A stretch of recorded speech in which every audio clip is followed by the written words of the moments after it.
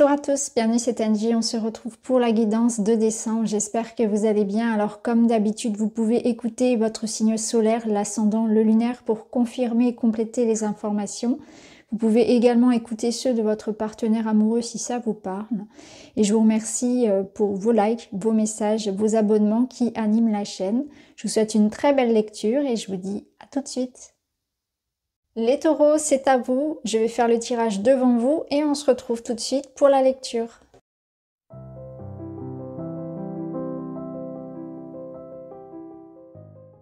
Allez les taureaux, on est parti pour votre lecture. On commence avec les énergies générales. Vous avez l'énergie de la paix, de l'apaisement. Une fin d'année euh, qui se termine plutôt euh, sur des énergies douces. En général, c'est ce qu'on souhaite hein, pour, euh, pour les réunions de famille. Pour la fin d'année, on a envie d'apaisement, hein, que ce soit qu'on les fête ou pas, hein, que ce soit peu importe ce, qu'on fasse, on, on ressent ce besoin de se reposer et de se réaligner un petit peu. Et là, on voit, d'ailleurs, on a le lotus également, qui vous dit épanouissez-vous même loin des regards. Donc, on, a cette sensation que vous avez envie de vous reposer. Ça sent les vacances, ça sent le besoin comme ça de se retrouver, de se recentrer sur soi, sur les proches, la famille, etc., sur l'essentiel. Et on a besoin de prendre du bon temps. On a besoin d'aller, euh, d'accorder son temps, son énergie pour des choses qui en valent la peine. La fleur de lune ici, c'est vraiment une énergie euh, de guérison.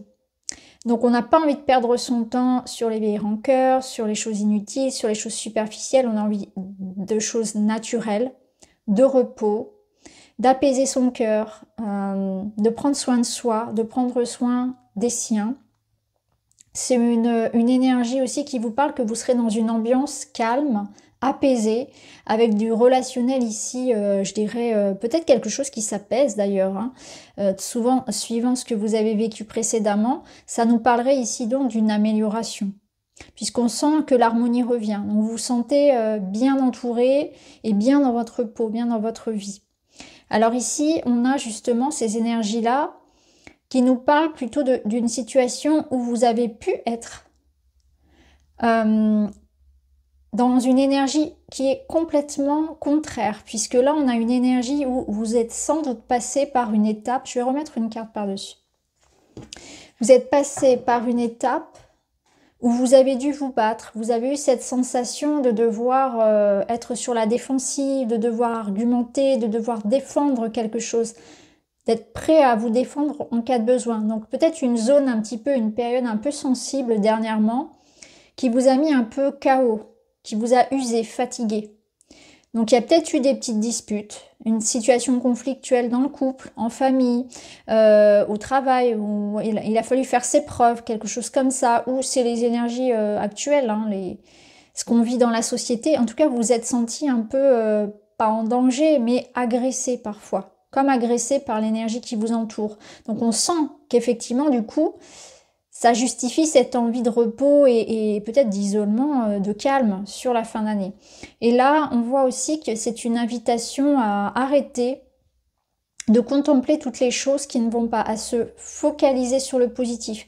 Donc vous allez peut-être arrêter aussi de vouloir quelque chose que vous n'aurez jamais, de passer à autre chose, d'arrêter euh, de de donner votre énergie dans quelque chose de vain.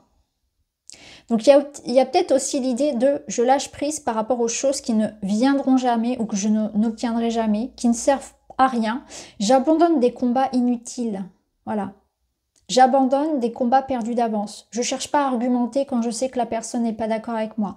Je ne cherche plus à aller euh, vers des choses où je sais que de toute façon c'est plus pour moi. Je ne me focalise plus sur quelqu'un qui est parti, sur quelqu'un qui ne m'aime plus, sur une situation qui est, euh, qui est tombée à l'eau. Je vais donner mon énergie pour ce qui euh, pourra fleurir à l'avenir, pour les choses qui sont importantes, pour toutes ces choses euh, finalement que j'ai et que j'ai envie de, de, voir grandir. Je ne me focalise pas sur ce que j'ai envie d'avoir, sur ce que j'ai perdu, je me focalise sur ce que j'ai déjà mes proches, ma santé, etc., mon travail, peu importe. Et je le nourris, j'en profite, je suis reconnaissant, euh, j'ai de la gratitude pour, pour tout ça et je me rends compte de, de, de peut-être la chance que j'ai d'avoir tout ce que j'ai. Donc il y a une énergie de gratitude, de reconnaissance et d'arrêter de, donner son énergie pour, euh, pour rien en fait, de se battre dans le vent, ici. Euh, oui, je voulais en remettre une par-dessus. On a l'empereur, bah oui, l'empereur c'est ça, c'est une énergie de, de stabilité. Donc là, vous êtes plutôt dans une énergie où on vous invite à profiter de votre empire, à profiter de tout ce que vous avez déjà, à régner en maître. On vous dit que vous avez déjà l'abondance, que vous êtes déjà riche. Alors riche de quoi? Riche de temps, riche d'amour, riche de ce que vous voulez. Mais en tout cas, il y a déjà des belles choses ici pour vous. Donc focalisez-vous sur ce que vous avez, profitez-en, Mettez-les en valeur, valorisez aussi les personnes peut-être qui sont autour de vous, qui vous accompagnent, qui vous aident. C'est vraiment ce moment-là sur, euh, sur ce mois de décembre. L'empereur, il vous dit que c'est stable. C'est pas la peine de se battre, c'est pas la peine de chercher à, à, convaincre ou quoi. Il y a une énergie comme ça aussi où vous n'avez pas besoin de ça. Il y a une énergie peut-être de confiance. Quand on a confiance en soi, on n'a pas besoin d'argumenter finalement. Donc arrêtez peut-être de, donner votre énergie pour des gens ou des situations qui n'en valent pas le coup. Ça n'en vaut pas la peine. Vous perdez votre temps et votre énergie pour rien. Alors, on va voir au niveau professionnel. On a le grimoire, cavalier d'épée et le magicien.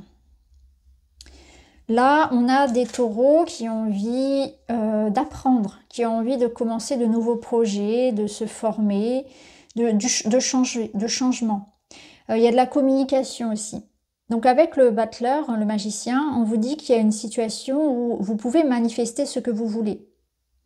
Hein, il y a vraiment l'idée de, communiquer, d'apprendre, euh, de, faire des recherches. Mais là, on va vous demander peut-être aussi une certaine forme de, de consistance. N'allez pas trop vite. Prenez le temps d'aller étape par étape. Ça va être important. Je pense qu'il y a certaines choses aussi qui doivent rester secrètes dans vos projets professionnels. C'est pas forcément le moment de tout révéler. Si vous avez un projet, gardez-le pour vous pour l'instant. Manifestez-le tranquillement de votre côté. Prenez le temps aussi d'analyser, de planifier, d'organiser, d'apprendre c'est le moment en tout cas de faire des recherches, d'aller vers quelque chose de nouveau. Peut-être de changer sa façon de procéder au travail, d'apprendre une nouvelle langue, d'apprendre, euh, de, de, faire des formations. Il y a aussi au niveau, euh, au niveau matériel, parce que c'est aussi le niveau matériel, peut-être euh, voilà, des, documents qui vont amener un nouveau projet personnel, financier. Ça peut être un nouvel investissement. Prenez le temps d'y réfléchir. Hein. prenez le temps de, voilà, de, bien rechercher, etc. Donc peut-être que parmi vous, fin décembre, vous allez voilà, peut-être contacter, euh, ça peut être euh, des banquiers, ça peut être sur un autre projet, hein, peu importe ce que vous allez faire euh, avec, avec vos investissements financiers. Mais là, il y a cette notion d'avoir envie d'un nouveau projet, de créer quelque chose de nouveau. Mais prenez le temps de faire les démarches. Euh, ok. Et d'ailleurs, c'est une invitation aussi, si vous souhaitez vous lancer dans, un nouveau projet, de bien faire les choses en règle. Alors au niveau relationnel, on a de la transformation. Oula, au niveau relationnel, ouais. Alors, au niveau relationnel, il y a une transformation qui est nécessaire. Donc on est dans une étape ici peut-être où vous vous sentez un petit peu seul. Hein. On peut avoir un sentiment de solitude. Euh, on peut nous dire qu'actuellement c'est un petit peu bloqué pour vous au niveau sentimental. Il y a une situation peut-être qui ne vous satisfait plus et vous avez envie de changement. Donc ça peut être pour un couple par exemple. Un moment ici pour voir ce qui dans la relation doit changer, doit évoluer. Il peut y avoir des blocages dans la communication, dans les émotions, un besoin de retrouver une intimité, un besoin peut-être de se retrouver. Pour d'autres ici, on va peut-être tourner le dos à certaines personnes, à certaines situations. Je sens hein, que pour certains, euh, voilà, il peut y avoir vraiment une sensation de ne pas être compris, une sensation de solitude.